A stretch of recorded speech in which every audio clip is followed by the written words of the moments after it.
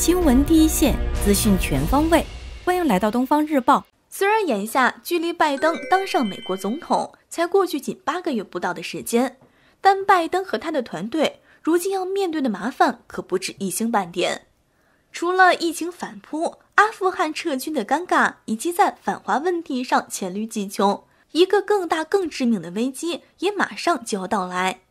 当地时间九月八日。美国财政部长珍妮特·耶伦向国会发出警告：到十月份的某个时候，美国政府将耗尽资金，触发历史性债务违约。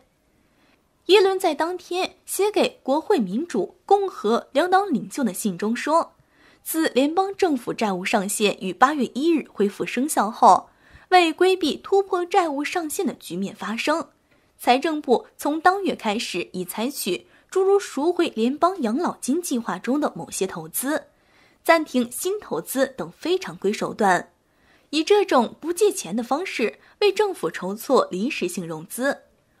但如今，财政部所有能想到的非常规手段已经用光。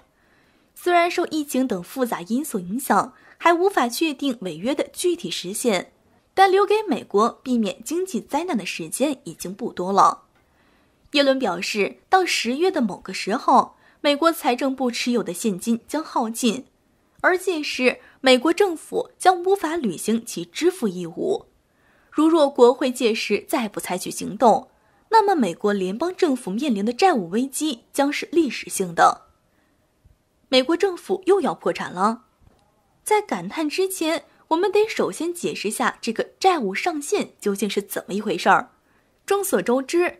作为一个全球性资本帝国，美国政府不可能仅仅只依靠税收来维持政府和社会运作，以自己的政府信誉为抵押，发行国债向全世界借钱才是主要手段。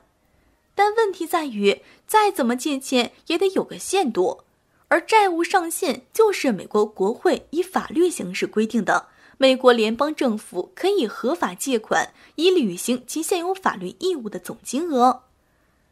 那么，触发债务上限意味着什么呢？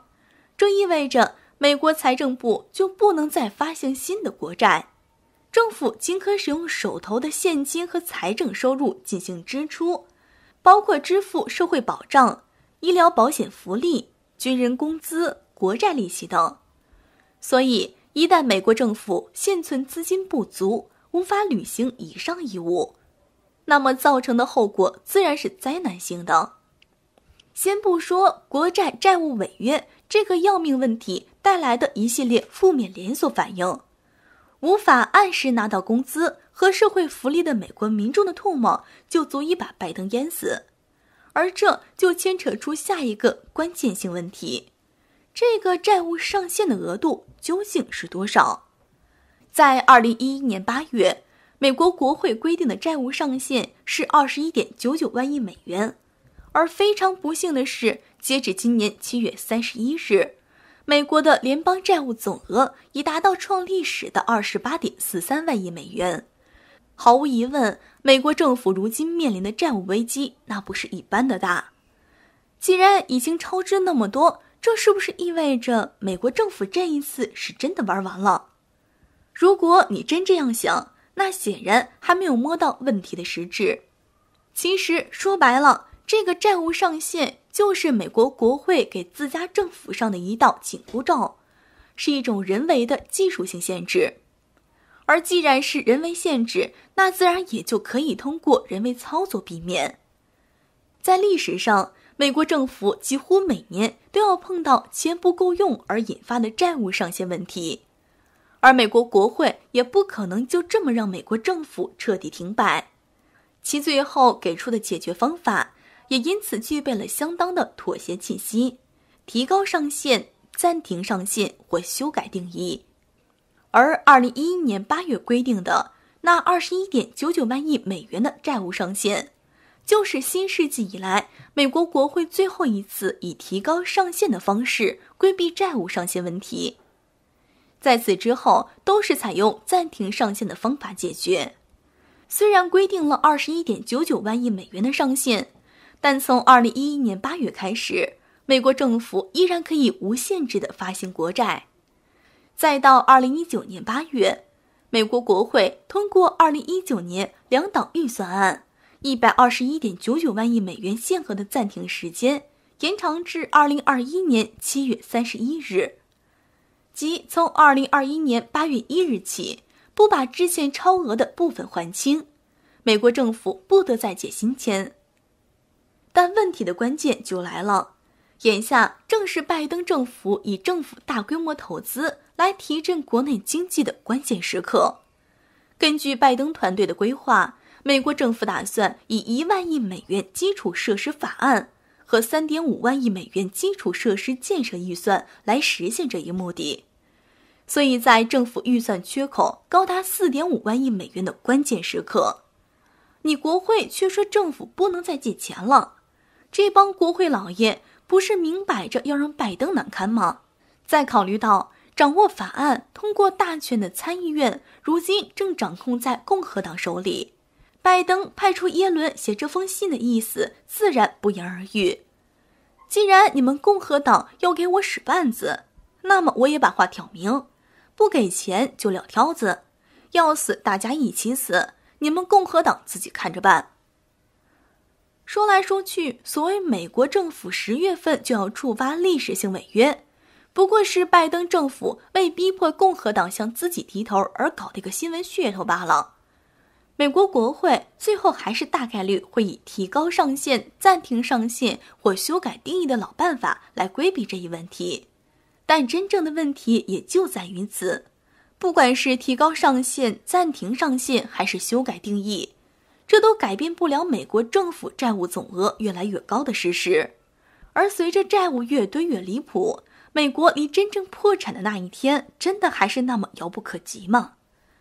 最后顺便说一句，据美国财政部八月十六日的报告，截至今年六月，一向看好美国国债的中国已经累计抛售四百二十三亿美国国债，而与此同时。中国四至六月的黄金进口量达到二百四十七吨，比去年同年增加二百三十二吨。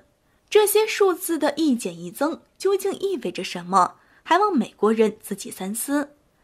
美国的人群主要分为三个层次：高收入阶层和利益集团、中产阶层、低收入阶层。低收入阶层本来就创造不了税收，疫情中还要发放更多的补助。而高收入的富人阶层和财团们，一来这些人控制着美国动不得；二来他们有无数种方式合法避税。不仅如此，美国现在害怕影响他们的资金流动，还指望着他们维护就业，反而还要给他们减税，甚至还得给他们发补助，买断其不良资产，变相输血。也就是说，美国的富人现在不仅不能给国家造血，国家还得给他们输血。这就苦了美国财政的主要来源——中产阶层们。看似收入不少，但是在资本盘剥和超前消费下，也剩不下多少钱。结果赶上了疫情，有一大批人不得不削减消费，甚至到了破产的边缘。这就让中产缴税的能力大大削弱。而美国现在面临的问题就是债务远高于国家的 GDP，想要解决债务问题，一直以来无非只有两个办法：开源节流还债，或者就是借更多的债去还之前的债务和利息。办法虽然简单明确，但实施难上加难。第一种办法，别说美国，让国家部门削减开支，放在全球任何国家都不容易，更何况。美国在美元霸权下不需要自己承担全部代价，这就更没有人敢提。人们都是唯结果论的，想要真正解决问题的，往往会招来骂名。就像当年日本资产泡沫破裂时，民众只会将责任推给加息的人，而真正制造风险并转移大量财富的人却无人理会。所以，美国财长即便发出了警告，又能怎么办？节流是不可能的，那就只能举更多的债，财政赤字货币化。今天先别违约，明天的事儿明天再说。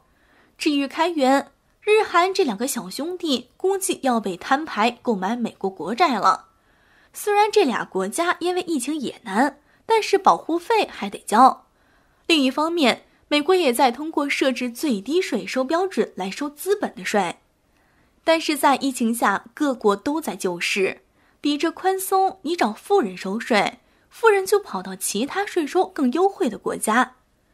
正常的财政收入无法开源，那么美国的债务问题一旦严重到某个地步，就不得不启动超发货币的方式缓解，形成更恶性的循环。毕竟既得利益者是没有国界的，他们能否赚钱，很大程度上会影响美国的做法。这就让美国明知经济发展已经庞氏化，也不得不咬着牙跟进，咬着牙。以上仅是网络观点，不代表小编个人立场。对此，您的观点又是什么呢？欢迎大家留言。您的每一次点赞和订阅，都是我更新的最大动力。再次感谢大家的支持。